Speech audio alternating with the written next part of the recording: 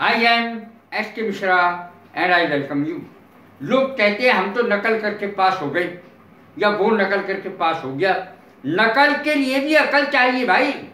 बगैर, आप बगैर अकल के नकल कर ही नहीं सकते बना पकड़े जाएँगे। एग्ज़ाम में पकड़े जाएँगे।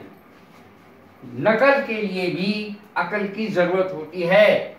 इंटेलिजेंस अब इसे अंग्रेज़ी में कैसे कहेंगे?